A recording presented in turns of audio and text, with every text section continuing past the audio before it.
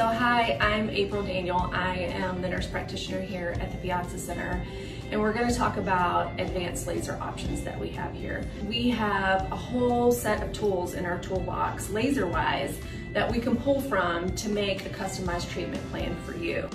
The best thing I always tell people is let's come in and let's consult. Okay, are we are we talking pigment? Are we talking wrinkles? Are we talking pore size? What have you had done? What options have worked for you? What has not worked for you? What are your goals? How much downtime can you give me? And then we go from there and we make a customized laser plan accordingly to whatever condition that we're trying to treat. Uh, typically are patients that have um, more textural damage.